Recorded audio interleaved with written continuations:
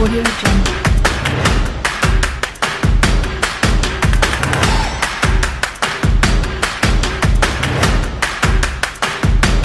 Audio Jungle.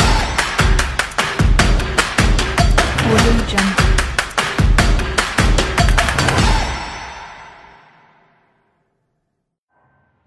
Good morning. So first, we have to gather the equipment needed. So our equipment are electrogel,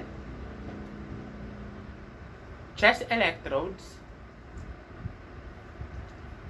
alcohol swab, limb clamps, ECG machine, lead wires, print paper, and then wipes.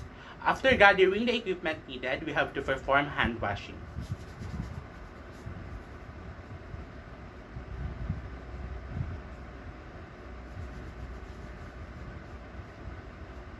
After performing hand washing, we have to introduce ourselves to our patient. So, good morning, sir. My name is Christopher Liliza, and I will be your nurse for today. May I know your name, sir? Okay, Sir Harvey Ignacio. So, kailan po birthday nila? December 6, 2001. Am I right, sir? Okay, if that's so, we may begin in a moment. So first, let me introduce to you the procedure. So, for today's procedure, you are going to undergo ECG procedures wherein the electroconductivity of your heart will be tested. So, this involves touching and putting some electrodes and limb electrodes to your body. Is that okay with you, sir? Okay. So, the first step in getting the 12 ECG leads is that the proper position of your patient. So, ideally, the position of patient is in a supine position. However, there are some patients that they cannot tolerate this position. So, we can put them in a semi-folder position. Okay, sir. Comfortable po ba kayo sa position niyo? Okay, so comfortable naman po kayo sa semi-folder position. So, the next steps is that we are going to expose the body of the patient. So, i-remove natin yung shirts niya. Then, my focus now is on the skin preparation. So, I'm going to observe the amount of hair sa chest ni patient. And then, titingnan din natin kung mayroong mga excess fluids or oils or dead skins because it may affect or interfere the adhesion of electrodes or the transmission of the signal through electrodes. So, ang gagamitin natin ngayon is the elect um, the alcohol swab. So, um, ipapahid natin to sa kay patient dun sa nakikita natin kung mayroong oil doon, doon natin ipapahid 10 to 12 strokes.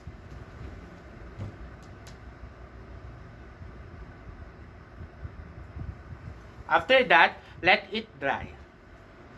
Now, we're ready to um, to put the limb on the patient. So, sa paglagay ng limbs, meron tayo iba-ibang color dito. So, imagine na lang na meron na tong cord, lead, lead wire. So, this is um, the limb clamp. So, bago natin ilagay kay patient, magpuput tayo ng small amount of electrogel. So, yung red is sa right arm ni patient.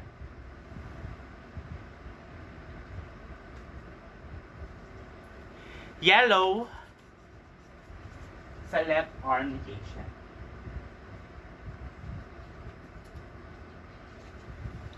Black sa right leg ni. And then green sa left leg ni.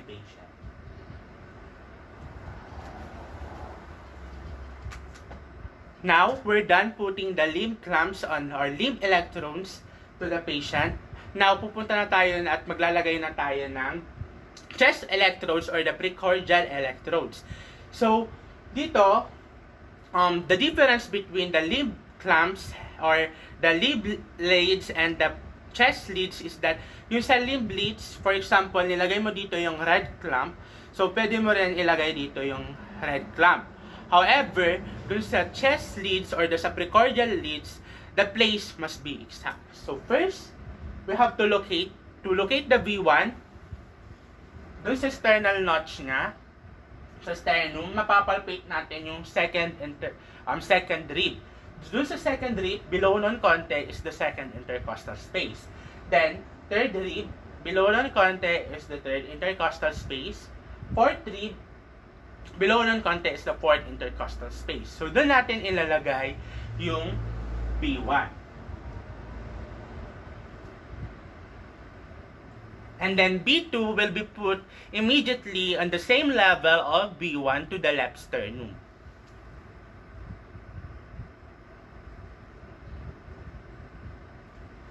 Next, B2, next is B4. So, B4, we're going to palpate the clavicle. So, sa clavicle na yon, mapapansin natin or mafe-feel na natin yung first rib. So, first rib, first intercostal space. Second rib, second intercostal space. Third rib, third intercostal space. Fourth rib, fourth intercostal space. Fifth rib, fifth intercostal space. Dito natin nalagay si B4. Now, B3 is between the B2 and B4. Next is B6. So, sa paglagay naman kay B6 by the word mid, mid-axillary, um, ilo-locate natin yung axilla ni patient. So, sa middle ng axilla ni patient, we're just going to draw down here and ito si B6.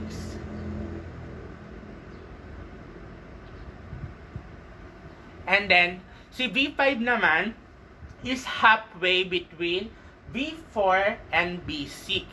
Left anterior axillary link.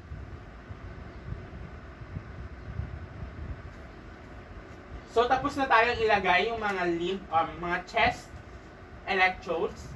And then, ang next na ilalagay natin is yung mga lead wires.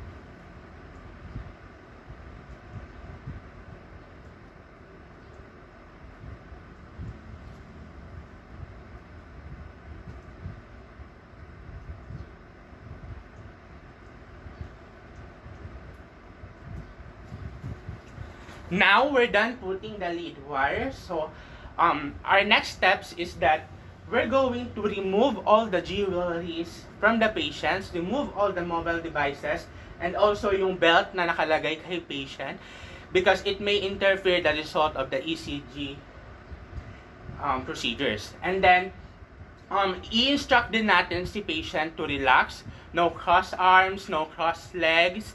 The body should be straight. And then, i-instruct natin siya na relax lang po kayo, sir. So, okay, Sir Harvey, relax lang po kayo. Hinga po tayo ng maluwag. Breathe in, breath out. Breathe in, breath out. Okay, after we instruct the patient, we're going to turn on now the ECG machine.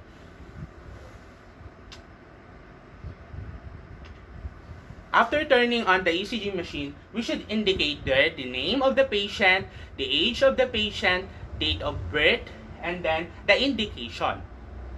After that, after a few minutes, lalabas na yung result sa ECG machine. And now, what we are going to do is that um, we're going to print out the result. Okay? Print out.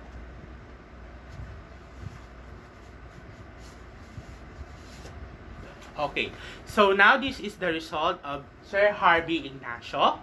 So after that, um, instruct na natin si patient na i-remove na natin yung mga electrodes sa katawan niya. Okay, sir, alisin ko na po yung mga electrodes sa katawan niyo.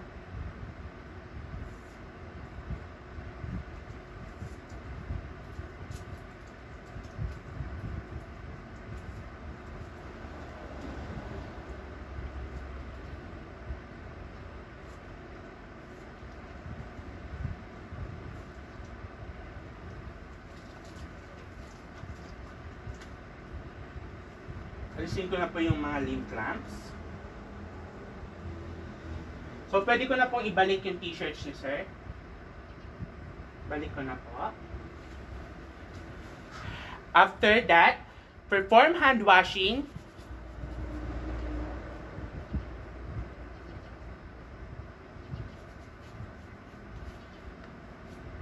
And gathered all the document data. Thank you.